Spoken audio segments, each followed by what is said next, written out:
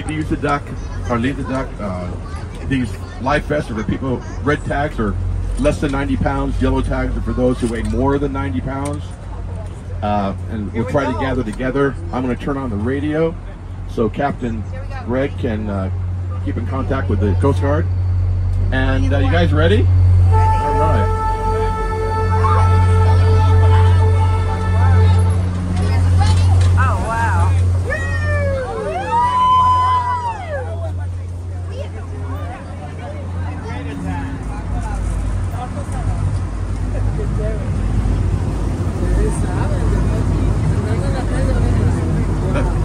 Is it good for families? Oh, we need a. Oh yeah, yeah, yeah, yeah, yeah. Right. I got it. And it does not. I think that's the other duck. not this one.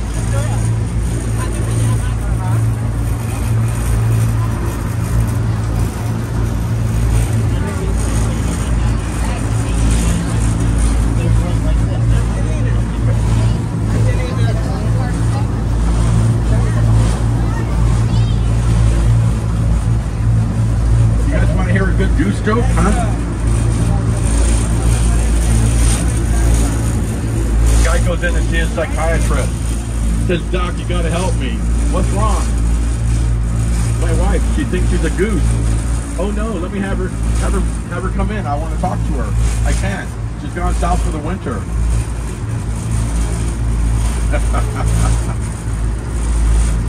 this river's really beautiful, isn't it? It's a wonderful time of the day to see it. But you know, but you know, this river always didn't look like this. In fact, the river used to be filthy.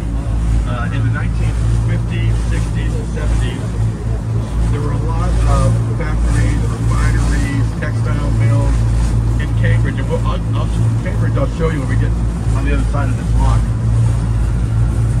They would just dump all their pollution, sewage. There were no fish, no fowl, nothing. It was really, really bad. So in 1975, the Environmental Protection Agency comes in and says, uh, you guys got to clean this up. This, this is terrible. And they gave it a D minus. And uh, so the city of Boston, the city of Boston, um, Charles River Watershed Association, EPA came in. They took about 10 years cleaning this up. And it's now the cleanest urban river in the country. Now you might be wondering, well, if it's so clean, why is it so dark?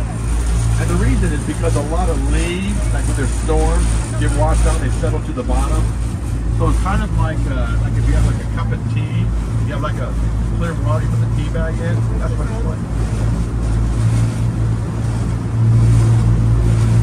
Captain Greg, further down this block, is going to honk the horn, and that's just to let people know that we're coming. So don't be alarmed by that. Remember, remember earlier I was saying that this was the uh, cleanest urban river? Well, I was very curious to find out what the most polluted river is. But before I tell you, do we have anybody here from Ohio? Oh. Well, never mind then. No, I'm just kidding. Yeah, it's the Cuyahoga River in Ohio. It's the most polluted river in the country. And the reason I always ask ahead of time is when I first started doing my tour, I just blurted out Cuyahoga River most polluted. After it was over, after the tour was over, this person came up to me and said, you know, it'd have been nice if you could have warned me that you would be talking about the river like that. And there were so many things I wanted to say to this person. But I just, ultimately, I just promised I'd always ask ahead of time if anybody was from Ohio.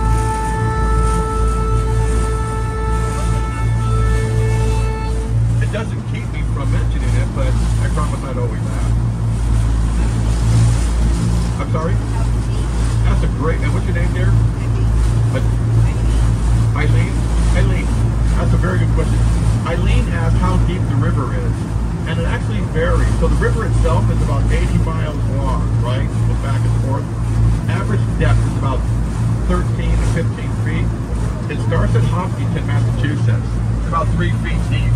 The deepest part of the river is over there, over to my right. That's about 35 feet. So, okay, at this time, Captain uh, Greg likes to take a break, and so when he does that, we like to invite our young friends to come up, sit in the captain's chair. We'll take a picture if you like. Now we'll work our way down. Either one of you guys want to come up here? Want to come up? There you go. And what's his name? Hobby? This is Hobby, everybody. Let's give him a big hand. Nice job. Nice and brave. First one. Big smile. Let's show those choppers, huh? There we go. There we go. Nice job. Nice job. Nice job, Hobby. Okay, going down. Is that her sister? Oh, is that her sister? And what's her name? Ogene? This is oh, Ogene, everybody. Oh, Ogina. Big smile. There we go. Oh, it's a. Oh, shoot. All right, Oh, come on down, dear. Nice job. There you go. I did not expect that at all. Not mine. And what's your name? Oh, that's my wife's middle name. Really? Oh, you got okay. Let's have a seat, dear. There you go.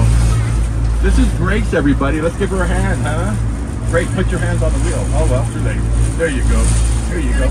Grace, Grace, Grace. You're welcome. Working our way down. Working our way down. One of you guys want to do? Okay, let's let her come up and then you guys. Come on up. And what's your name? What's your name? What's your name? Izzy? Izzy. This is Izzy, everybody. Give her a hand, huh? Come on up here. There you go. So the Charles River divides uh, Boston and Cambridge. Nice. Oh, Izzy here. Izzy. There you go. We'll get there, I promise. Come on up. And what's your name? This is A- Angelina? There you go. Big smile. Look where you're going, Angelina. There you go. I don't know what I did wrong. Man, look at the boats. I think I meant that. I don't know what I did wrong. One more. Let's see those choppers, huh? There we go. Nice job. Nice job, Ann. Let's give her a big hand, everybody. Here you go, dear. Nice job. Okay, we're gonna wait. Yep, come on up. One at a time. Yeah, we'll get there. Don't worry, I promise.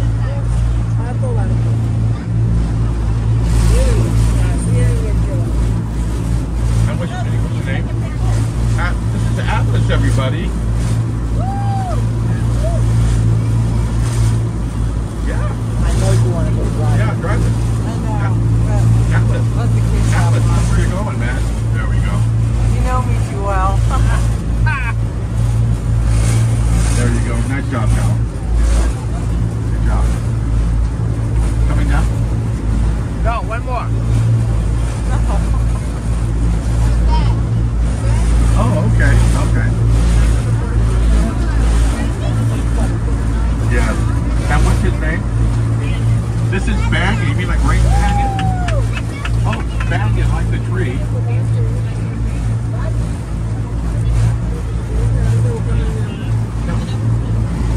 Now, everybody on your left, you're going to find a wonderful view of the State House.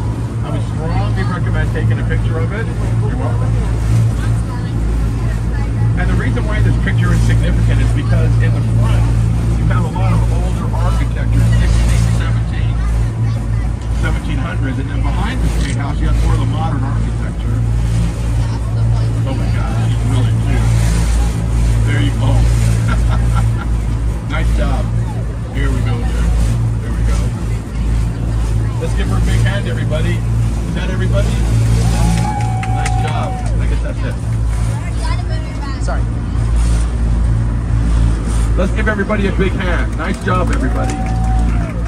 Now we're going under the Henry Wadsworth Longfellow Bridge, and it's named after Henry Wadsworth Longfellow. He was a very popular poet. He had a number of poems. A, a very famous, probably the biggest one, I guess, would be the uh, Ride of Paul Revere. Remember, listen, my children, for you shall hear of the midnight ride of. Paul Revere! I uh, when I graduated from high school, my dad made me memorize a poem called. The Builder. I only remember the first four verses now. All are architects of faith, working in these worlds of time. Some with massive deeds and great, others within these walls of rhyme. Now, Captain uh, Greg is going to be making a half circle. I'm going to be pointing out buildings to you on the left. But I'm going to be going right to, I'm sorry, on the right, I'm going right to left. So for example, that building with the big, the building with the big white uh, golf ball looking, that's MIT. I don't like MIT. They didn't accept me in the business school, so we'll just move on. That building looks like stacked books. That's Boston University. That it, they did accept me, so I like them. These uh, beautiful buildings that you see going right to left. These are the three tallest buildings in uh, in New England. The far right is the Dalton Building. The uh, the building in the middle, that's Prudential. That's where we picked you guys up. The uh, green building with the racing stripe down the side, that's called 220 Clarendon, and we'll see that at the end of the tour. As we continue moving right, you may notice small sailboat. It's quack out. Are you guys ready? Quack, quack, Hey, dude. quack, You guys, let's try it again. Hey, dude. quack, There quack. you go. So those little sailboats are called starfish. And this is the, on the right. This is the community boating center. So if you're a kid in the Boston Boston area, you're between the age of 10 and 18, you can learn how to sail for a dollar a year. Isn't that great? Isn't that wonderful? Okay, now, remember I was uh, wanted everybody remember 40 Beacon Street. Remember you, remember that? So I'm going to talk about that now. So Fanny Appleton, she was the daughter of a very wealthy industrialist from Wisconsin. Very beautiful, extremely beautiful. Uh, she was the first woman um, to uh, have a baby with anesthesia. She's amazing. Henry Wadsworth Longfellow, at the time, very famous poet, very popular. Everybody loved him. First time that he saw uh, Fanny Appleton, he asked her to marry him, and she said, "No, I don't want to marry a poet. Go away, leave me alone." So he kept asking. She kept saying, "No, leave me alone. I can't. I love you. I don't care. Go away. I'll write poems for you. We'll travel. We'll have fun. No thanks. Go away. Leave me alone." He kept it up for seven years. And so finally, one day he got home, opened up a letter, and all it said was yes. So he skedaddled across the bridge at the time, and that's where they were married. Now, the reason I'm telling you that story is because I love it. And to me, it's just a really good example of perseverance. Course, in today's world, he probably would be arrested for stalking, but it's still a wonderful story. You can say quack quack to the other boat. I'm sorry, what was that? You can say quack quack to the other Sure. Well, let's wait. A, let's wait a minute or two, okay? I want to make sure they can hear us. Now, this building on the right, this is the Massachusetts uh, Eye and Ear Infirmary. It's the number one specialized hospital in the whole world. When Adele was having problems with her throat, that's where she went. She could have gone anywhere. That's where she went. Okay, you guys, nice and loud. Just a second. Nice and loud. Hey, dude. Quack, quack, Hey, dude. quack, quack. Well, I hope they heard us. Now, the building just to the uh, left, that's Massachusetts General Hospital. That's the number one research, I'm sorry, the number one, yeah, number one research hospital in the world. They primarily specialize in cancer research. That's what they do. In the top 10 best hospitals in the whole world. I have a relationship with that hospital. It's true. It's true. They have my gallbladder.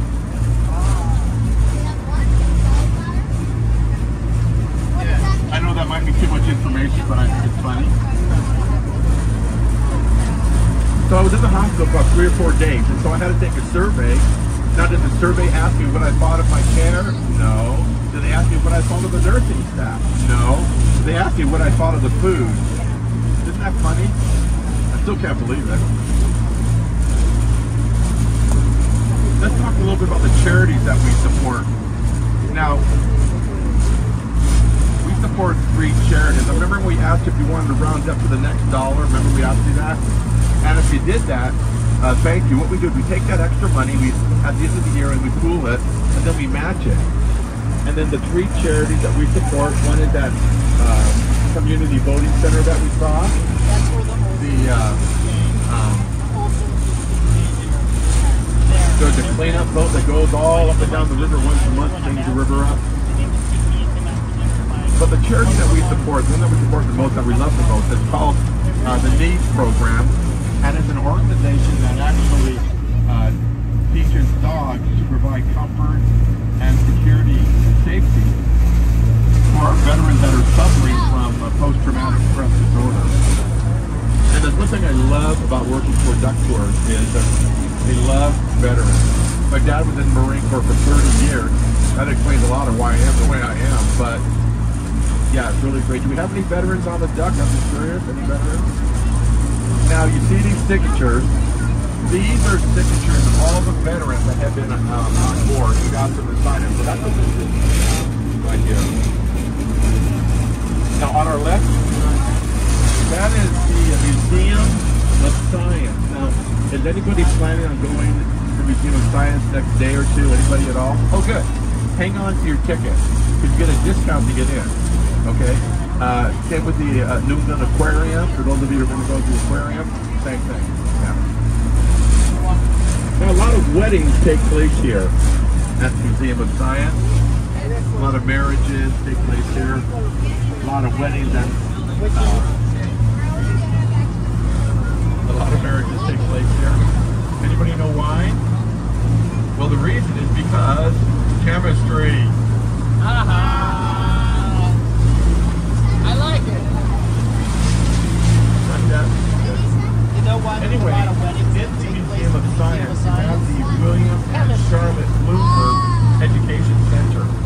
Now, they are the parents of Michael Bloomberg, who is the uh, was the governor of New York City, right? I'm sorry, mayor of New York City. And his family's originally from this area. And every weekend, they would take him to the museum. Every weekend. He just loved it, couldn't get enough of it. And he says in his book that that really sort of really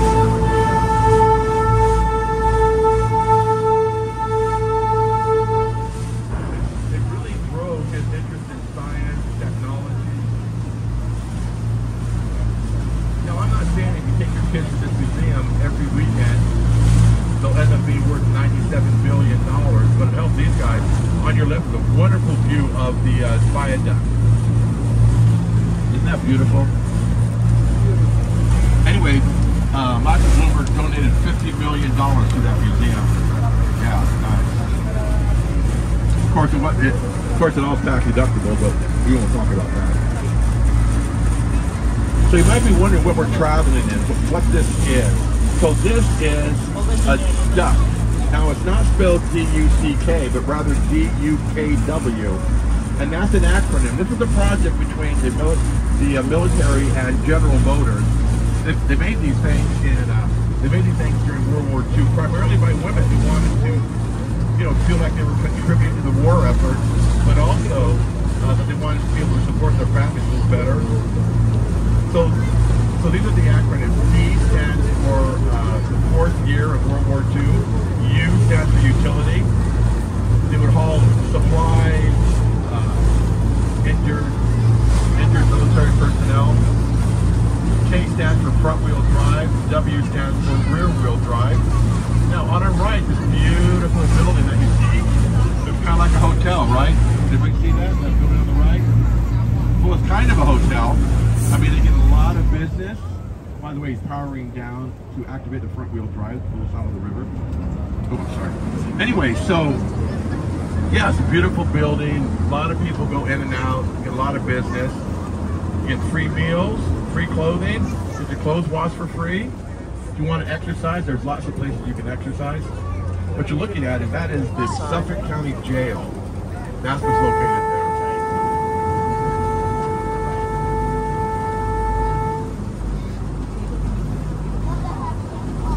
Now, when Boston announced that they were going to be building a jail in 1991, everybody who lived here, they had a connection. Oh, and by the way, that's one of my favorite words to say. They were very upset. The expression in NIMBY, right out of my backyard. So they forced the city of Boston to come up with four different architects before that was approved. Remember I was saying earlier, um, Boston has a uh, has a jail that looks like a hotel, and they have a hotel that looks like a jail. The old jail is now a five-star rated uh, hotel. Yeah, I stayed there. Liberty Hotel or something.